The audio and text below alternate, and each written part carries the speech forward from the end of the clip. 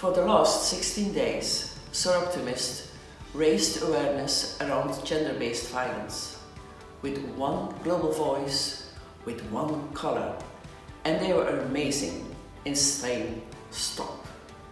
Today, December the 10th, marks Human Rights Day and the end of the campaign.